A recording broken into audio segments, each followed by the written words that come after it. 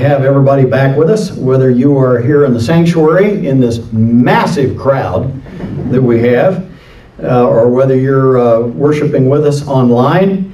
Uh, I just appreciate your faithfulness and I appreciate you being with us and tuning in every week. Um, those of you that have been watching online, you really got used to, to seeing the sermon get posted at 10:30 on a Sunday morning. Well, we can't do that anymore because we record it on Sunday morning and then it's processed on Sunday afternoon. So just about supper time, when you're setting down to a nice big plate of fried chicken and mashed potatoes and gravy and a biscuit or two, you're able to sit and watch the service.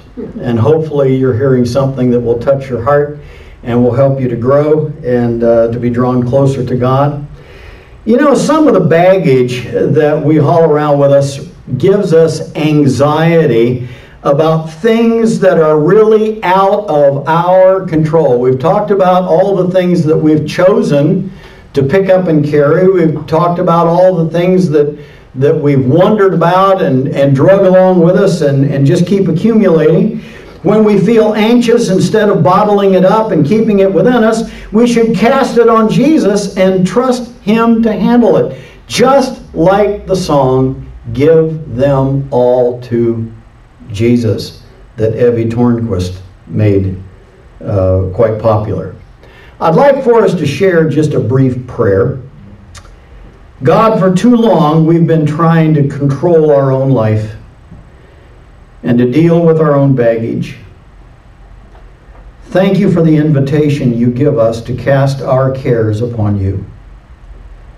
Put us in a position to be willing to give up the things that we are wrestling with and seek help in carrying our baggage. In Jesus' name we ask it. Amen. Welcome to our third and final week of our baggage series. And as a kind of a brief recap of our first two weeks, I would like to share this one sentence with you, and it is this Let go of the baggage in your life and travel freely into a life filled with expectation and anticipation of all that God can do in and through you. That's a one sentence summary of what we've been looking at for the last two weeks. But we need to be honest for just a moment about something. There are some of us here and some of us that are listening this morning that um, we've been hearing for a long time that greener pastures are ahead. Things are going to get better. Things are just getting ready to turn a corner, right? We've been hearing that now for months. Are you getting as tired of hearing that as I am? I want to see something. I want to experience something. Quite honestly,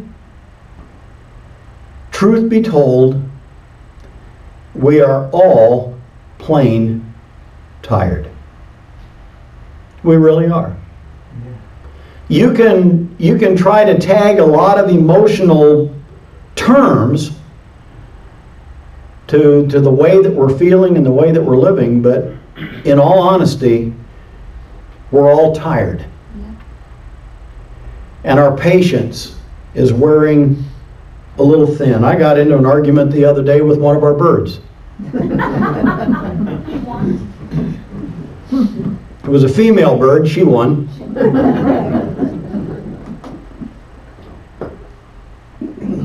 but we don't have answers, do we? We want to believe. We know that God is good. But sometimes we're just not sure where to begin.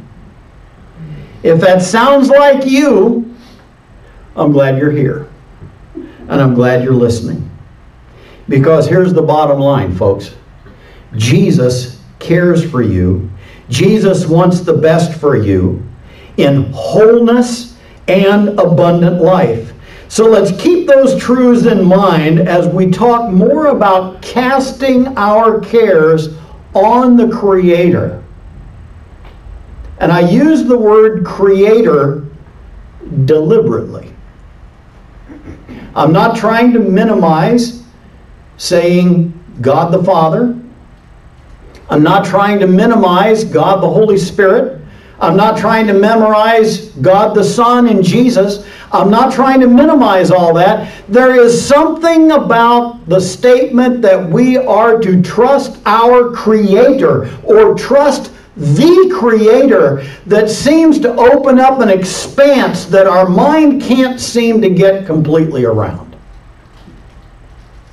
It's an easy concept to think of God the Father, God the Son, and God the Holy Spirit. We can do that. We can even cope as best as we can with the term Trinity. But when we say we are going to trust in the Creator, it's almost as if the entire universe can be pictured in God's hands when we talk about the Creator.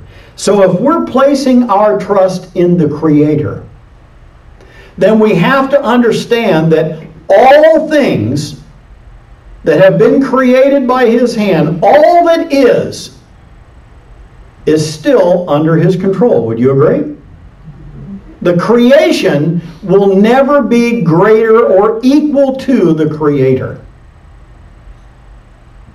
The Creator is at the apex. So, first of all, God calls upon us to use humility. When we realize that God, the, the Creator, is as big as He is, we begin feeling quite small. As we identify the baggage in our, our lives, let it go and trust God with your future. There is something else there is an imperative ingredient to the mix that we cannot see in this surrender. And it's this humility. Humility. Now, we have all undergone things in our life where we are humbled. We've either done something, said something, behaved a particular way, got caught at it, and our humility really came to the top because we were embarrassed. Uh, we felt like an idiot. We felt foolish. I was in the parking lot of a of a shopping center in Durango one time, and there was a really nice metallic blue Thunderbird, the big Thunderbird. Remember the, with the with headlight covers and big long hood. I mean, the thing had about a seven foot hood on it, and it had the opera glass in the, on the back part of the top. And there was only one person that I knew that had that car It was a young lady in our church. So I blew my horn as they went past. I couldn't really see the driver, but I blew my horn. Their brake lights came on. Oh. And I was waiting for them to roll the window down, turn around, look. Never happened. They kept driving. I thought, well, I'll just follow them through the parking lot. So I followed him through the parking lot, kept blowing my horn followed that car around the parking lot twice until it came up and parked at the front door of the store. And I pulled up alongside, and it wasn't her. All I could say was, I'm so sorry. I'm really not stalking you. I thought you were someone else. That was a humbling experience. And I'm sure that every one of you could tell stories similar. all of us need to be willing to ask for help. And it is not an easy thing to do for many of us who are so headstrong and independent. And let's just call it what it is bullheaded. We're there. Part of it, quite honestly, is because of our age. You can say amen because you know it's true. the older we get, we've been through a lot, right? And our patience gets short. And we've learned if you don't stick up for yourself, nobody else will, right? So you have all of that going on in the back of your mind. And it has created a bullheadedness a headstrong attitude and a streak of independence a mile wide down our back. While that may be a good thing to navigate tough days, it is not a good attitude to approach God with. We need to be willing to ask Him for help. And quite honestly, we also need to be willing to ask someone else for help because you asking for help admits that you need the help. And do you realize it's a compliment to the person that you asked?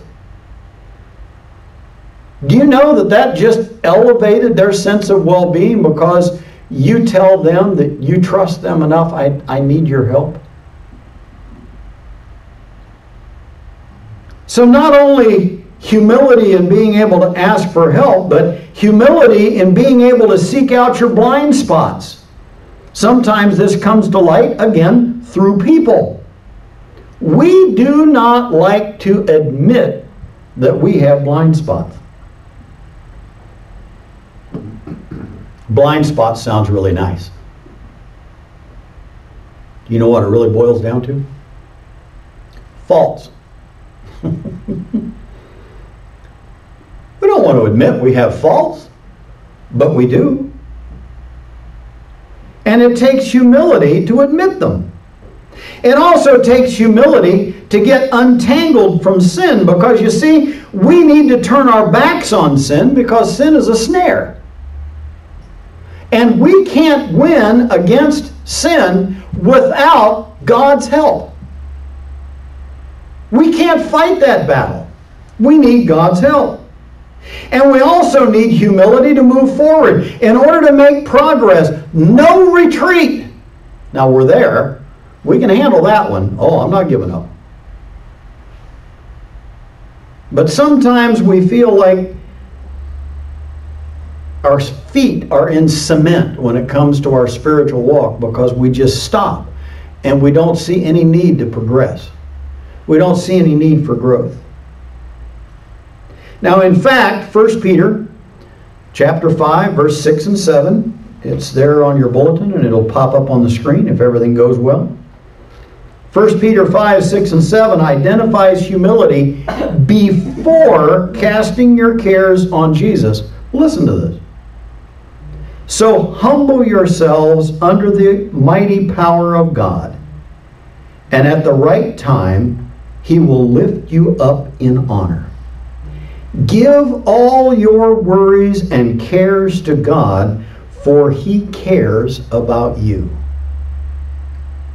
Who? 1 Peter 5, 6, and 7. So we're supposed to have humility in the fact that we're asking for God's help to have the humility before we cast our cares on Him. Now, as you know, it's difficult to work with someone who is all puffed up with pride. We've all known those kind of people. They're difficult to deal with. Do you think it would be any different in your own relationship with God?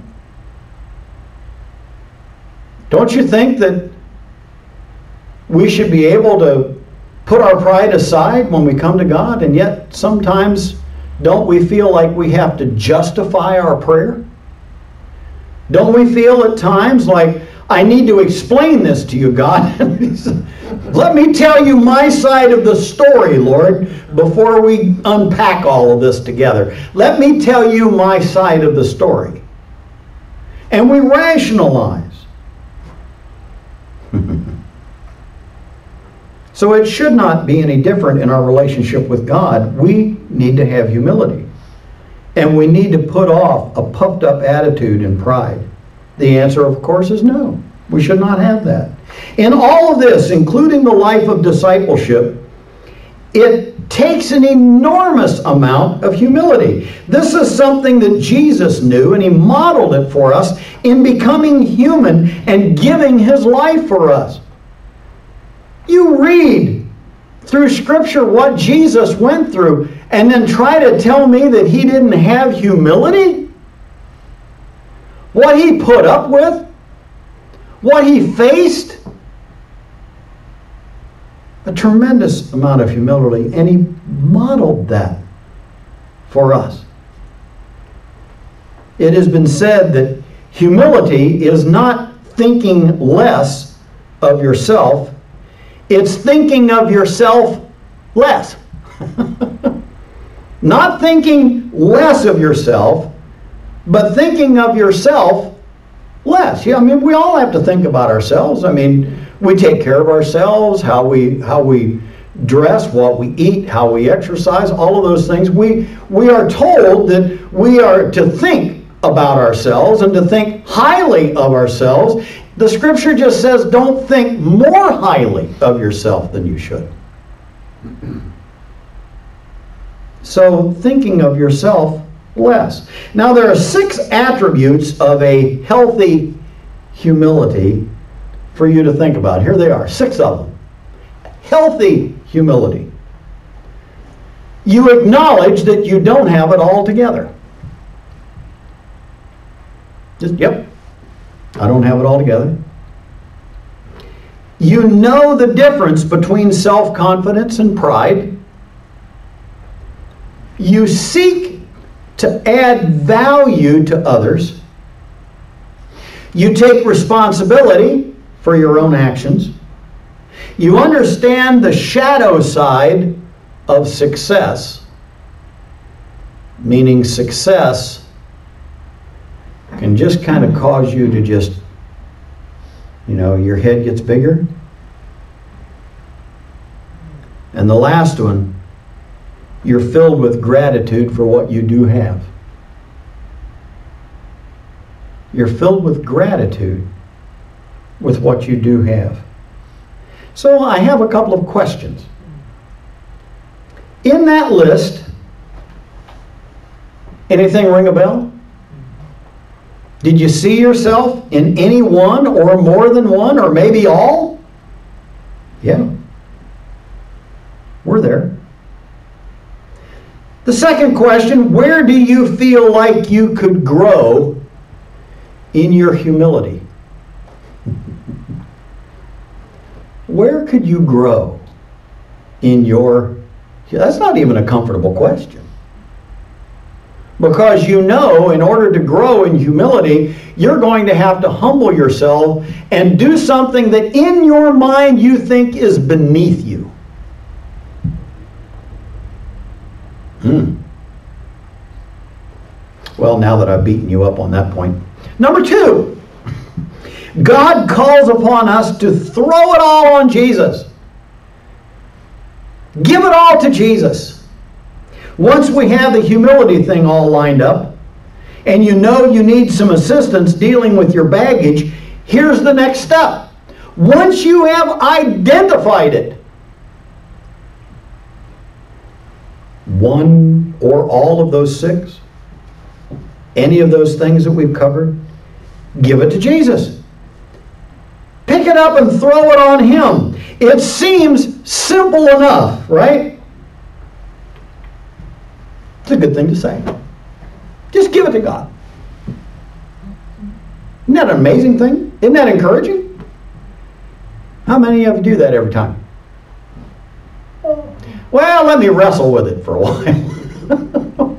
I can fix this. God, I, I, I don't want to bother you with this. I can, I can handle this.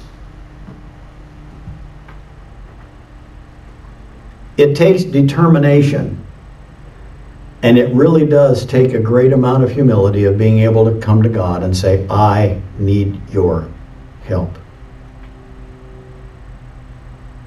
So, what does it look like? How does it work when we say, throw everything on Him? How does that work? One example that comes to mind is found in the Gospel of Luke. And we're going to look, take a look here at Luke chapter 10, verses 38 through 42. And it reads this way As Jesus and the disciples continued on their way to Jerusalem, they came to a certain village where a woman named Martha welcomed him into her home. Her sister Mary sat at the Lord's feet listening to what he taught. But Martha was distracted by the big dinner she was preparing. She came to Jesus and said, Lord, doesn't it seem unfair to you that my sister just sits here while I do all the work? Tell her to come and help me. But the Lord said to her, My dear Martha, you are worried and upset over all these details. There is only one thing worth being concerned about. Mary has discovered it, and it will not be taken away from her. Luke 10 38 through 42. So look at the example that was set by Mary. While her sister is worried and bothered by all kinds of things, Mary is seated at the feet of Jesus. Now, we could really get off into the brush here, and I could I could go in a completely different de de uh, destination, different direction. But let me just let me just mention this for a second. What got in the way? What got in the way of Martha sitting at the feet of Jesus with Mary? What got in the way? Nothing bad. Her sense of duty. She wanted to honor Jesus by what she was doing. She wanted to cook a good meal. I cannot imagine a southern woman not wanting to do the absolute best. Everything's going to look perfect. Jesus is here. Like having the preacher over for lunch. It's got to be perfect, right? Hey, you feed a preacher fried chicken, you got his attention. But what, what could have gotten in her way? It was all the things that she saw as being important that her sister saw as being overshadowed by the presence of Jesus. It wasn't that they weren't important, it was just that there was something more important. And that was what Jesus recognized Mary for. What a beautiful picture and what a powerful lesson to learn. To do just this, to make time for Jesus, sit with Him and His Word, pray, maybe journal. I know several of you like journaling. Read, Tell him the things that you're anxious about, thinking about, worried and bothered by. This discipline was even modeled by Christ while he was here on earth. He would regularly, we find out, he would regularly go off to be with the Father. You can find that in the first chapter of Mark. Jesus would take time to go off to be alone with his heavenly Father. Should we have any different approach, different thinking. We all need those times to get off with God. And just like Jesus recognizes in Mary's time spent with him, which this, he says, shall not be taken away from her, we understand any time spent with Christ is time well spent. And here again, we ask two more questions. I love questions. What can you do this week to have more intentional time with Christ. What could you do? What areas of concern and baggage are you carrying right now that you would like to give to Him, but for some reason you've just decided to just, maybe you're not carrying them, maybe you just have them sitting beside where you are. Well, I'm not carrying them, Lord. I'm just going to leave them right there. Well, why don't you walk away from them? Well, I need to keep an eye on them. I want to make sure I know where they are. Which brings us to the last point. God expects us to trust Him. We ended last week's sermon with a similar point, and we talked about trust in week one as well. It shouldn't come as a surprise then that trust is a significant obstacle in the process of offloading our baggage. Admittedly, I don't I, I don't see things happening quickly. I know that trust can take time, and for some, it doesn't come easy at all. They learn, but it takes a while. There are times when trust is not warranted when it comes to people because people can disappoint you, can't they? You can be blindsided. You can say, Well, I'm going to trust. Is anybody here this morning or anybody that's watching this video, have you ever once been in a position where somebody betrayed you? Maybe just one. Think about it. Just one truth be known, you've probably been disappointed by a lot of people in your life. And trust can be an issue, can it? Because of your past. There are times when our trust has been betrayed with people. In his book titled The Speed of Trust, Stephen Covey writes Low trust causes friction. Low trust is the greatest cost in life and in organizations, including families.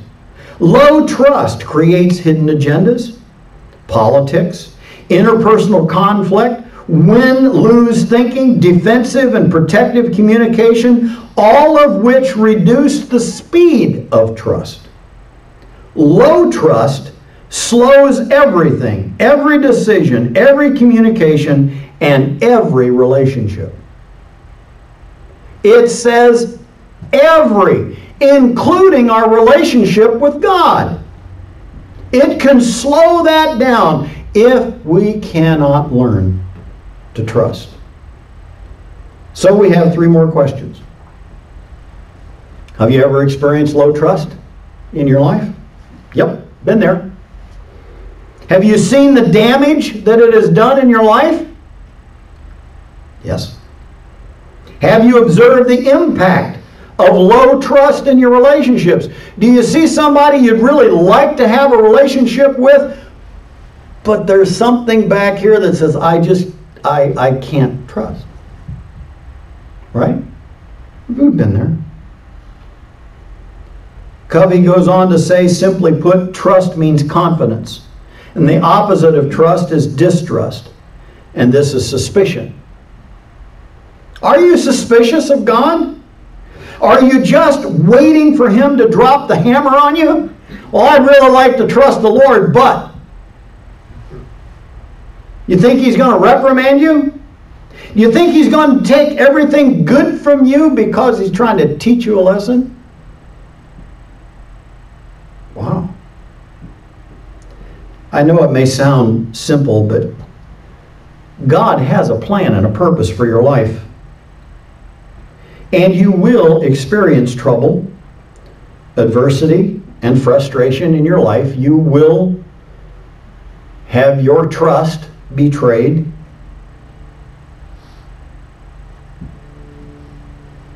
No one can avoid them. The promise we get to enjoy as sons and daughters of the Most High King is that this is found in Romans 8:28, and it says this. And we know that God causes everything to work together for the good of those who love God and are called according to his purpose for them. So you see, there are four mandates in our life. Trust Him today. Cast your cares on Him today. Toss your baggage onto Jesus today. And choose to walk with Him today. Now, today, in the moment.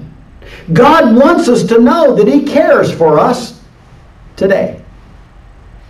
He wants what's best for you today.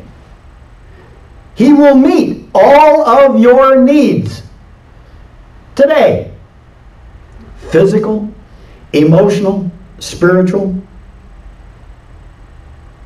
So think about this for a moment.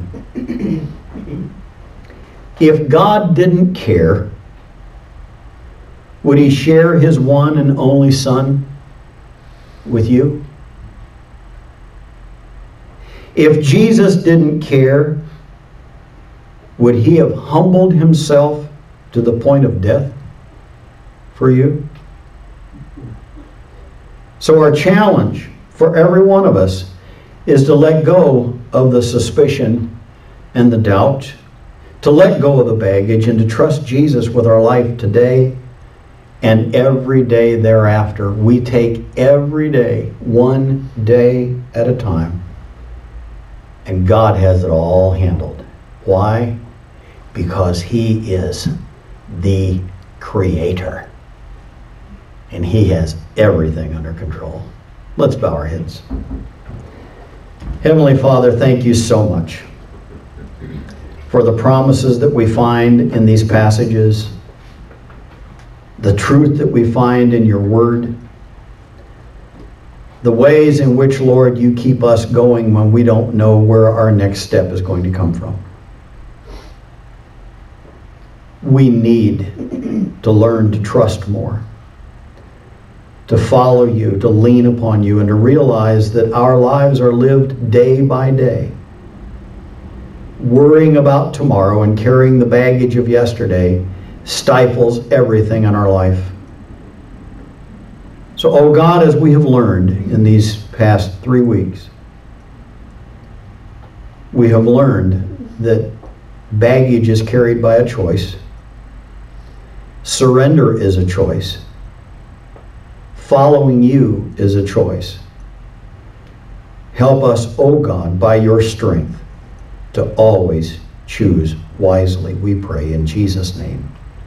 Amen.